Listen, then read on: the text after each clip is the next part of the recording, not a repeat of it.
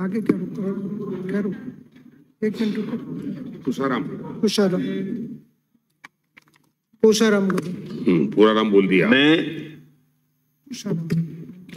मैं तुषाराम गोदारा जो विधानसभा का सदस्य निर्वाचित हुआ हूँ ईश्वर की शपथ लेता हूँ कि मैं विधि द्वारा स्थापित भारत के संविधान के प्रति सच्ची श्रद्धा और निष्ठा रखूँगा।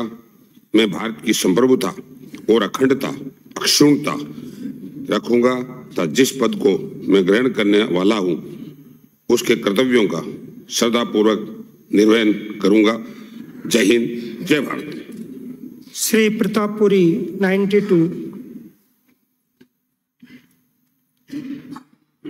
作る。